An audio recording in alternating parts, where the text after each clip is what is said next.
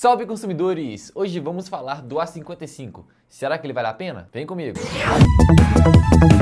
Começando pelo acabamento, o A55 ele tem a moldura de alumínio, que por sinal é muito bonita. Esse relevo que o A55 tem é muito bonito, eu acho que dá um charme no celular, ficou bem legal. E é igualzinho ao A35, que são celulares parecidos. A versão anterior do A55 o A54 tem a moldura diferente, ela é toda reta e ela é de plástico, que é diferente do A55, que tem a moldura de alumínio. O A55 tem 6.6 polegadas, é maior que a sua versão anterior, que tem 6.4. O A55 tem uma tela grande até. Se você comparar com o S23, por exemplo, celular minúsculo, a diferença é bruta, porque o A55 tem 6.6 polegadas e o S23 tem 6.1 polegadas. É uma baita diferença. O A55 tem um Gorilla Glass Victus Plus, que é uma baita proteção de tela, e ele tem essa proteção na tela e na parte traseira do celular, ou seja, vai ter mais resistência a pancadas e arranhões. E essa proteção do A55 é melhor do que do A54, que tem a versão Gorilla Glass 5. Mas aqui, toma cuidado, não fica arranhando a tela do celular, fica testando lá não. Você acha que a loja da Samsung vai falar assim: "Ô, oh, meu filho, você arranhou essa telinha, ela quebrou, que pena. Toma um suquinho aqui, vou arrumar essa telinha". É lógico que a Samsung não vai fazer isso, né? Então não fica panguando aí, não fica arranhando de propósito, né? Lógico, se quiser passar uma moedinha, alguma parada assim, tá, mas não fica pangona aí, né, velho? O A55 tem o IP67, ou seja, significa que o celular está protegido contra a poeira e resiste a um mergulho na água de até um metro de profundidade por até 30 minutos. A linha S da Samsung, por exemplo, o S23, tem o IP68. Atesta que ele está protegido contra a poeira também, mas pode ficar mergulhado na água de forma contínua e uma profundidade de até 3 metros. Olha, eu não te recomendo ficar testando isso também, isso é mó chato, né? Ai, não testei isso, não faz isso. É porque se você quer ter um celular seguro, né, ficar tranquilo, não faz isso, cara. Ele não é a prova da água, igual uma Mi Band, por exemplo. A Mi Band 8, por exemplo, eu uso ela todo dia, o tempo todo. Posso molhar ela, tomar banho, tranquilo. Mas ela é a prova d'água. Diferente do celular que tem resistência à água. Então não comete esse vacilo de ficar molhando, mergulhando ele toda hora. Ele pode, Pode, mas não vale a pena ficar arriscando, entendeu? Principalmente depois de um ano de uso, mais ou menos. Depois de tombos, depois de, né, vai começar a mexer na carcaça, a proteção pode começar a piorar. Aí beleza, você tem o celular um ano, você joga ele na água e não vai aguentar, entendeu? Às vezes pode estragar porque não tá no mesmo nível de resistência quando o celular estava na caixa, entendeu? Inclusive o Henrique até testou o S20 FE, a gente tirou ele da caixa mergulhou ele e ele tava zerado, tava 100%, entendeu? Então a gente pode fazer isso. Mas quando o celular tá bem, um ano, dois anos de uso, não vale a pena fazer isso as marcas não costumam cobrir garantia por oxidação. Então, meu filho, não vacila, entendeu? Você quer ter seu celular todo regaçado, estragado? A não ser que você seja um cara rico, pode comprar quanto celular que você quiser. Aí é com você, é seu critério, você molha 100 celulares. Voltando ao 55, ele tem uma tela Super AMOLED com a taxa de atualização de 120 Hz, com HDR10 Plus e tem a taxa de brilho máximo de 1000 nits. A tela do A55 é sensacional para jogar, para assistir série, então a Samsung né, não tem jeito, ela não erra na tela. Lembrando que vou deixar o link do A55 na descrição, fechou? Falando de chipset, o A55 possui o Exynos 1480. É um chipset bacana, vai dar para jogar seu Free Fire, seu LoL. Agora, jogos mais pesados igual Genshin Impact, ele vai sofrer. O foco do A55 não é para jogar, entendeu? Se você quer comprar só para jogar, aí te recomendo o Poco X6 Pro, que é um celular sensacional. Ele tem um chipset da Dimensity 8300 Ultra, que é um chipset absurdo, roda muito jogo no talo, tem uma tela de 68 bilhões de cores, é muito boa.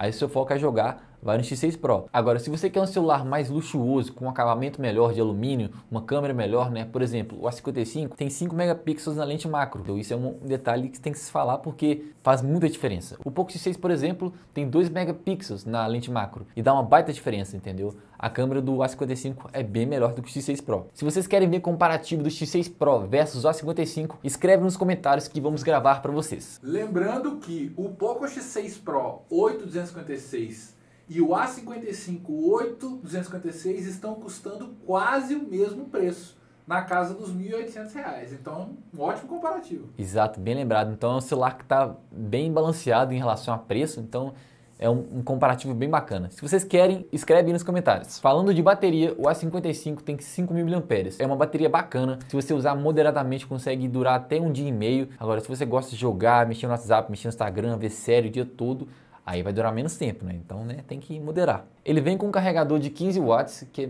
pouca coisa, né? A Samsung podia colocar um 25, né? Porque inclusive ele aceita carregar até 25 watts. A Samsung podia, né, colaborar e colocar um carregador melhor, né? Então, se você quiser comprar um carregador melhor, tem que comprar a parte. As opções de cores do A55, azul gelo, lilás, marinho e limão. Falando de câmera, ele tem 50 megapixels na lente principal, 12 na ultra-wide e 5 na macro. O A34, por exemplo, tem a lente macro de 5 megapixels também e cara, a câmera dele é sensacional Olha só as fotos que tiramos com a 34 nesse modo macro, que eu sou apaixonado. Para quem acompanha o canal sabe que eu gosto bastante. Então provavelmente o A55 vai tirar boas fotos também. Na selfie ele tem 32 megapixels e na câmera traseira ele grava em 4K 30 fps e 1080 a 30 e 60 fps. E a mesma coisa na selfie. Eu tirei algumas fotos no shopping para vocês verem, né? Eu não tenho o A55 ainda em mãos. A gente quer testar ele, mas acompanhe o teste de câmera que eu fiz e deixe nos comentários a sua opinião.